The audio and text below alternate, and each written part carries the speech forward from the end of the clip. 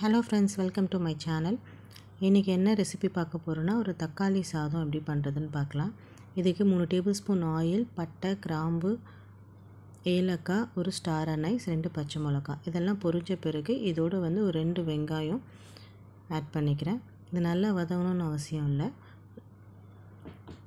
இதோடு வந்து ஒரு டேபிள் ஸ்பூன் இஞ்சி பூண்டு பேஸ்ட் பச்சை வாசம் போகிற வரைக்கும் இதை வதக்கி எடுத்துக்கலாம்.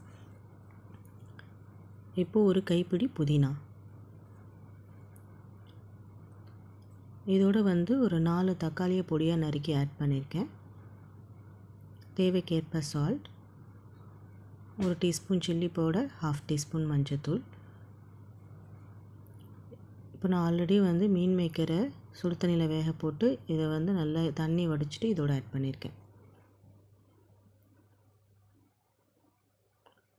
ஒரு நல்ல மிக்ஸ் கொடுத்துக்கலாம். ஒரு ரெண்டுலேருந்து மூணு நிமிஷம் வரைக்கும் நல்லா வேகட்டும். அதுக்கப்புறம் இதோட தண்ணி ஆட் பண்ணுறேன் ரெண்டரை கப் தண்ணி ஆட் பண்ணியிருக்கேன். ரெண்டு கிளாஸ் பாஸ்மதி ரைஸ்க்கு ஆஃப் அன் ஹவர் ஊற வச்சு இப்போது இதோட ஆட் பண்ணிக்கிறேன்.